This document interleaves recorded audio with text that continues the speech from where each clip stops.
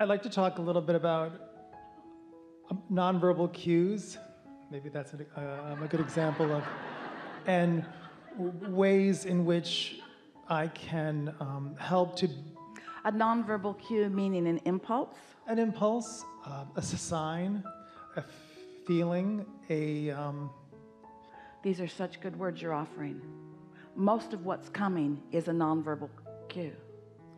But why does it f- feel like th- there's nothing there? Oftentimes, often. Because you're not good at translating the vibration yet. So, so that's So you the, need somebody to yell it in your ear. That's kind of what I need. that's kind of what I feel like.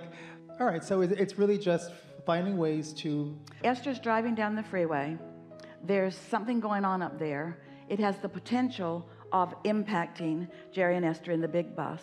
And Esther gets an impulse to just get over, over, over, over, over. Jerry says, Where are you going? Esther says, Over, over, over, over, over. She takes the next exit. And Jerry says, What was that about? And Esther said, I don't know, just felt like it. Now, Jerry happily went along with things like that because he'd had enough experiences. They had had enough experiences together. If Esther had needed the verbal cue, so she's driving down the freeway. Now she needs to really make sure she's in the receptive mode. And now she's tuned into Abraham. Shh, don't talk, Jerry. I'm getting Abraham. We're tugging on her shoulder, tugging on her shoulder. Uh, there's something up there that you need to be aware of. And she's crashed into it before any of that's happened. But it's interesting because We really want you to hear that because you think that someone fully explaining things is what you want at all times. That's not what you want at all times. You get so tired of that. If you were to walk around with Esther and she would make you sit and talk with her about all the things that she's thinking about all day, every day, about what Abraham's teaching, after a while you'd say, Give it a rest. I was happier before I knew any of this stuff. just don't need to be talk, talk, talk, talk, talk, talk. Get out there and live your life and let your impulses lead you toward all of the things that you are wanting. What about the impulses toward greater and greater love, greater and greater appreciation, love, appreciation, love, appreciation? Because all that feels like okay, that's uh, uh, it's great to get nonverbal cues to to avoid avoid misfortune or avoid an accident or avoid something like that. But how about just increasing love and joy and just having it be more and more and more and more and more and, and increasing the momentum That's the point of everything, really. What you've just described is why you came. That's what I want. So, what do you think is in your way? Well, it's probably just resistant thought, but I, it's got to be. I mean, So, we have a really important question for you, and we'd like all of you to think about it, weigh in on it too. When we're having this dialogue, and we know we've set it up questions, answers, more clarification, and so forth. But are you asking this question from a state of being satisfied?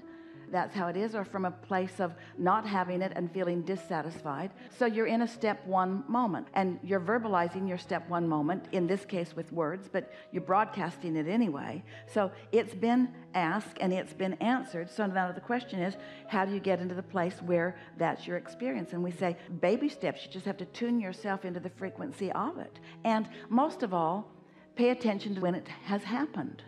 Notice when it's happening. Notice when you feel satisfied. Notice when some kind of really fun rendezvous happens. Esther went to the nail salon last week, early in the week, and two days later, her thumbnail just peeled right off for no good reason except she was scraping something off the counter. But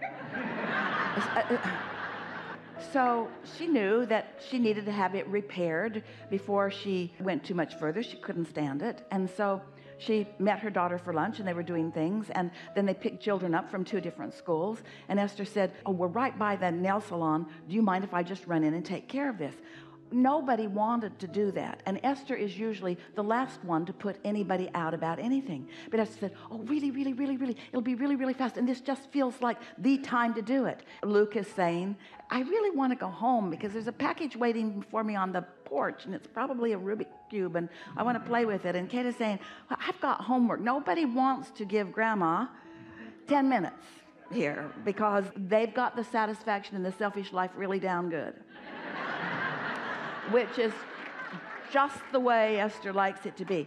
But in this case, Esther's impulse was so strong, it overrode her normal tendency, which was to just give everybody else whatever they want. And she said, We're right here, suck it up, I'm going in, I'll be right back.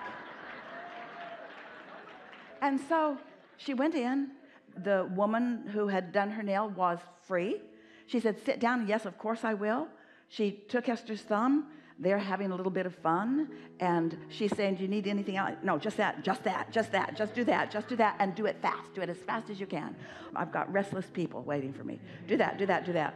And so she's playing. And then after about five minutes, the woman sitting next to her couldn't take it anymore. She said, I know who you are.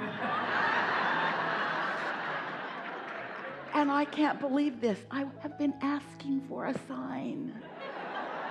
Esther said, okay, law of attraction is real, okay? It, it, it's a real thing. It was so satisfying to Esther to realize what her feeling of, I'm going in here and I'm going in here now, was all about. It was about rendezvousing with someone. You see what we're getting at? Cooperative components. It's happening to you all the time. And so just pay attention. When satisfying things happen, acknowledge what the setup for it was.